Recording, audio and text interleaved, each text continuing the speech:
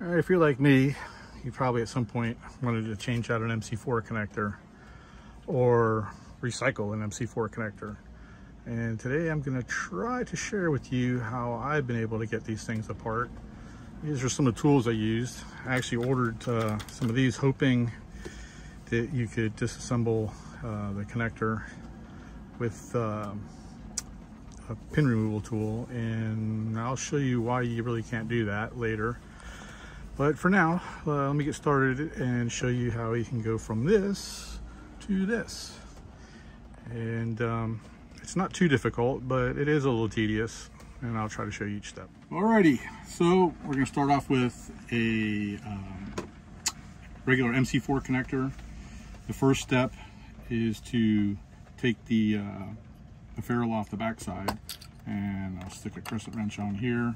These have a hex um, nut on them. Sometimes they'll come apart and then sometimes they won't. We'll see. Oh yeah, this one's coming off.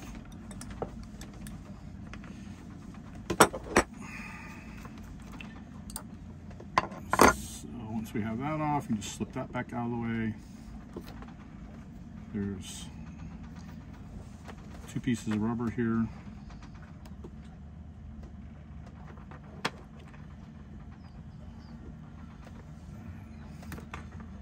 the way, Doing this on a boat in Central America in the summer. I had to turn my fan off just so the audio would be good. So I'm definitely sweating. All right, so this is kind of like the first toughest part here is to get uh, this piece out of um, the housing, the casing. And you see this is this is crimped onto the wire here from the factory and you can see these these little um, barbs. So that once this is inserted into the housing these things are not made to be removed again. And there's no tool that um, really could even uh, remove these. Because if you were to take like a normal uh, pin removal tool you see it slips on here and it doesn't go past um, the shoulder to be able to retract those pins. And what makes and what's even worse is when this is inserted in here, if you try to insert the tool, the tool doesn't go past um, the hole in here inside of the housing. So there's no way for this tool to be able to uh, interact with these pins to be able to retract them. And the same thing happens on the other connector. Even though it's um, closer to the same size, uh, the tool isn't deep enough to go all the way down uh, to, to interact with those pins. And the same thing, this, this um, is inside the, the uh, housing here, and you can't even insert the tool to go over this, it won't fit in the, the plastic housing hole. So it's really, it's impossible to use a proper pin removal tool. There is no tool. Uh, I can't even see how you could make a tool to do this. It's kind of more of a, a brute force attack to be able to uh, recycle these things. Now what I did find though was using these little uh, pin removal tools to, to go in here from the backside, I did have a little bit of luck with these helping me out. But sometimes you don't, these aren't necessary. Sometimes you can, you can kind of like wiggle the, yeah, so you can twist the, uh, the connector and get it to pull out. So once you've got to this point, you're kind of on the home stretch. Um, you can take these, rest these off the end of the wire. And I like to recycle these little short pieces of wire um, to use to connect uh, solar charge controllers to the main bus and things of that nature. Um, I should have shown you. All right. So if you have one, I'll do it again. So now it's back in there locked. If you have one of these things that's uh, not wanting to cooperate, I found it by inserting, I could get up to three of these in here. There we go. You just get it pushed in a little bit.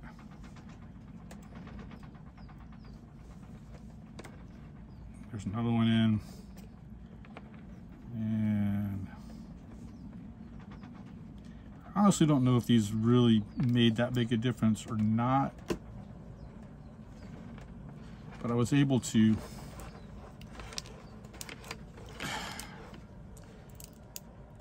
yeah. No.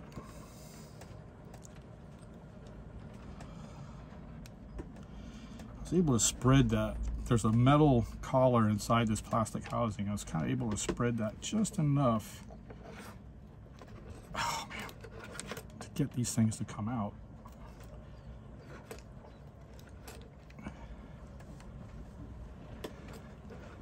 Yeah, I don't know. This one doesn't want to come out. I've done I've done like four of these, four or five of these already. There we go. Twisting it, twisting it and pulling at the same time seems to really be the best way to get these things to come out. Um, I really can't say that I recommend using the pin removal tools or even a pick. Just kind of like being a little bit gentle with it and getting it off. So then the next thing you want to do if you want to recycle these, um, a lot of times this is really only as far as you need to go because what happens um, is these things will come become brittle and sometimes they'll break, especially on this side. These little ears will have a tendency to break off of the, uh, the connector. So instead of having to cut and put a new one on and crimp it, um, you could just pull this thing off and slip a new one on and and you're good to go. These factory, these are factory crimps. I, I cut these off of um, solar panels that were no longer um, salvageable. So I salvaged the cables off of them to use on other things. But now you can see here how well that is crimped. Um, and it's, it's crimped on there really well. And the way that I've found to get the best deal with this is a little common screwdriver and a couple pair of pliers. And I'm using needle nose. You could use bigger pliers, but needle nose work good. You want to grab each side of the barrel. And what you're trying to do is not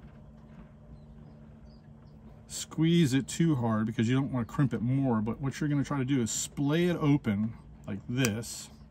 I don't know if you can see how I'm doing that. I'm kind of splaying it downwards like this to try to open this gap up here in the middle. And haven't quite got it enough yet.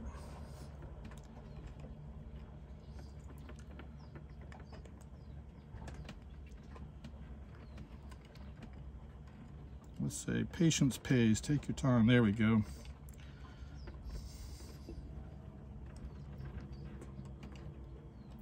Probably got enough there, but I'm going to try it for a little bit more. All right. So now you can see how I've got that splayed apart a little bit. And you can see how the, the uh, individual strands of the uh, cable are starting to come, come out. You can either, at this point, you can either try to work its way out. If it still won't come out, this is where the screwdriver is definitely going to come into into play. Trying to um, pry those edges up. Is I've already cleaned these up better, but you can see here these little. This starts off life as a, as a round circle like this before it gets crimped, but I'll be able to uh, recycle and reuse this.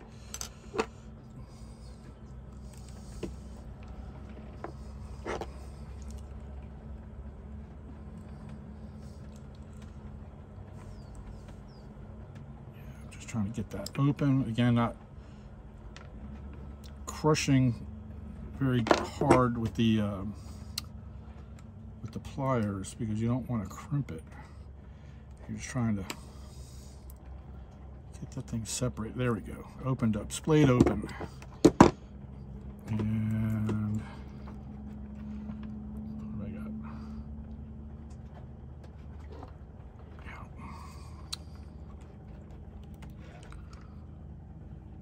side over here is really curled, curled around.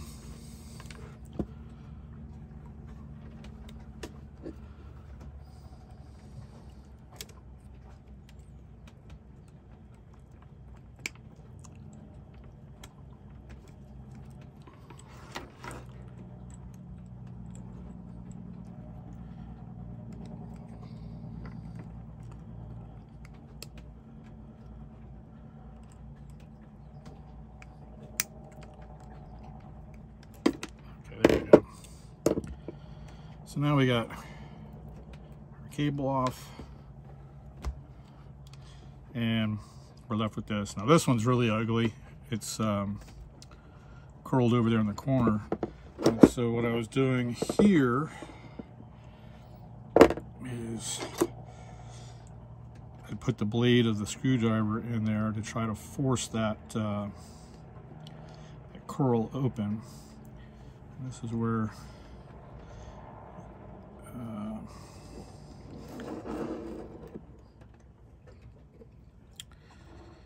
this was this is the worst one I've had to deal with yet. Lucky, lucky for you guys.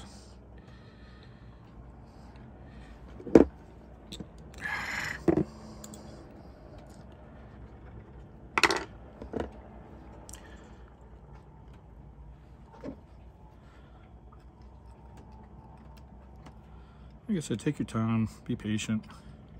I'm trying to hurry up so that this isn't hugely long video. I'm doing it in one shot, no cuts or outtakes, so to speak of. Uh, add a few more, more strands of wire in there. Okay, so that's open and really ugly. Might still a little bit more there.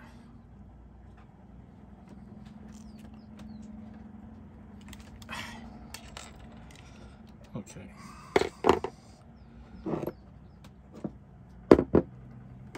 So now what I would do is I would take my needle nose pliers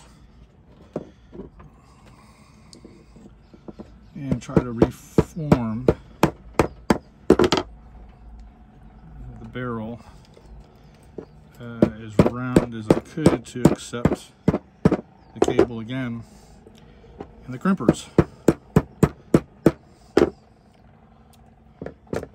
And really, you don't need a whole lot better than that. I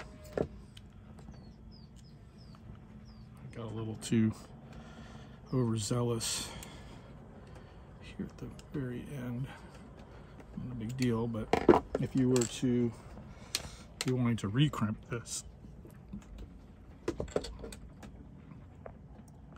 you just insert insert that back on there and then crimp with your uh, your crimping tool. Again so you can do it with the wire uh, with the wire still attached. Um, I've done some with the wire cut the wire off. It doesn't really seem to make any difference um, as far as working the the uh, connector. So there you go. Um, where's that one at? Yeah now you've got another recycled MC4 connector ready to go again and without too much difficulty and rather than throw these things in the trash you again you're keeping stuff out of landfill you're not having to pay for more MC4 connectors and um, I mean, I see no reason to throw these things away when you could reuse them. So I hope you found this video useful. And if you did, great. And if anybody has ever found a tool, which I really couldn't imagine there being a tool, but if anybody knows of a tool uh, just designed to disassemble these MC4 connectors, please leave a comment in the, or please leave a comment below. And as always, you guys have a great day. Also, one other thing worth mentioning, uh, I was taking a few of these more apart, different types. You can see these are both uh, the same uh, MC4 connector, or same side. This would be the uh, male side? I guess it depends on what you're talking about. It's the male side of the pin, female side of the plug. But not only are they a little bit different in length, um, the this is the uh, the pin that came out of this one. This is the pin that came out of this one. And you can see here, here I got a magnet. So this is obviously um, tin coated copper. And here we have ooh, just, I don't even know if it's tin coated. It's just steel. Um, also, there is a difference in cable conductors. Um, see here. There we go.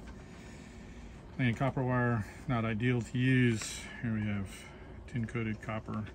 And while these are supposed, supposed to be 10 gauge uh, copper conductor, man, let me tell you, the non-tin coated one feels a lot smaller.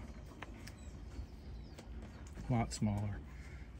Um, much better quality all the way around. And of course the uh, the cheaper steel pin was on the simply copper one and here we have the true tin coated copper uh, connector.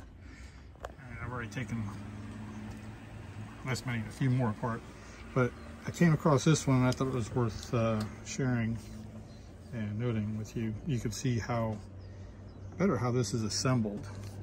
Now this is the the mate to this connector and I already had already taken this one apart. And here is the housing and inside the housing is this um, little spike collar on the outside and it goes in to the housing. Oops. I don't have my camera assistant right this second. It goes into the housing. So normally these barbs keep this piece from coming back out and the barbs interact. I don't know if you can see. Let me see if I can try to make this a little bit closer.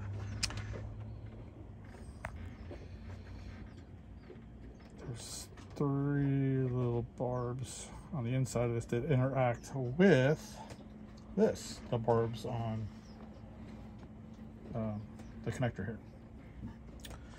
So this goes in here as such, drops down in there, and then it gets caged in the housing by this, and it has a little collar. And my suspicion is is this particular, well, these two are, this should have been like sonically welded or I don't think it would have been glued. I think it would have been sonically welded in there, which is why this piece doesn't come back out. Otherwise, when I took the nut off the backside of here, the whole thing comes out quite easily. There's nothing to keep it uh, caged in the housing. See how that those two pieces are there. So, and also this one I found, they went the extra step and soldered this one together, which I've actually done that myself. I sometimes I'll solder these these connectors, but this one's soldered. It's gonna take a little bit more work to get that apart and maybe I won't even bother taking it apart. And interestingly, um, these were not magnetic. They are tin coated copper as well as the uh, uh, you can't really see it too good there, but the, the conductors are tin coated copper as well. So you'll probably run into different types of uh, MC4 connectors and they're certainly not all created equal. And I've bought bags of these in the past, you know, probably 50 in a bag or 100 in a bag. And, I, you know, to be honest with you, it never really even occurred to me when I bought them to check to see if the um, if the uh, metal was uh, um, copper or if it was steel or not because yeah they're definitely not all created equal. And you don't want the uh, the steel ones. Okay well